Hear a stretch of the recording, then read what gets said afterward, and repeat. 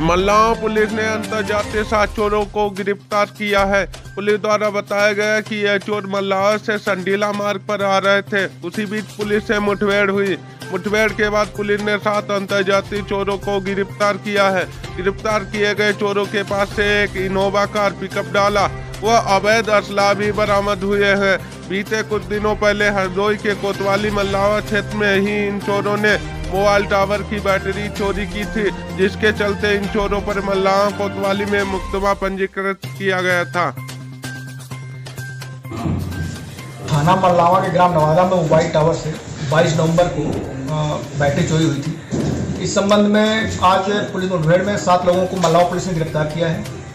जिनके पास से हमको एक इनोवा कार, दो पिकअप डाला, तीन अदद तमंचा, कार, कारतूस, पंद्रह अदद बैटरी बरामद हुई है। इनकी मोटर स्प्रेंडी ये थी कि ये इनोवा कार और एक डाला लेके आते थे। इनोवा से सीधे उतर कर एक टावर पर जाते थे, चोरी करते थे और डाला को दूर खड़ा करते थे। उसके बाद, चोरी करने के बाद डाला को बुलाते थे और बैटरी लाद कर लेकर के लखनऊ ले जाकर के कबाड़ी के यहाँ बेचते थे। इसमें जो मेन मास्टरमाइंड है, या जैसा कहें कि जो मेन है, वो है लखनऊ का कबाड़ी, जिसके यहाँ ले जाकर बेचते थे और वही लोगों से इस तरह की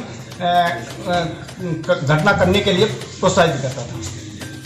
पुलिस अधीक्षक महोदय द्वारा इस टीम को जितना अच्छा वर्कआउट किया है। इनको पुरस्कृत किया जाए